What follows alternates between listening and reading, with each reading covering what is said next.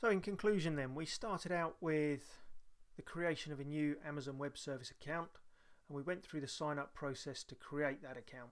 We've learnt about the AWS fundamentals covering virtual private clouds, elastic cloud computing, the creation of instances and learnt a little bit about storage with EBS. From here we've created our first two instances. We created a Windows 2008 server and a Linux Ubuntu client machine. And we finished off with configuring our RDP connection from outside of our virtual private cloud and configuring our PuTTY SSH connection from within our virtual private cloud. In short, we've started out with nothing and now we have our own cloud environment with virtual machines and storage ready for us to configure our test environment.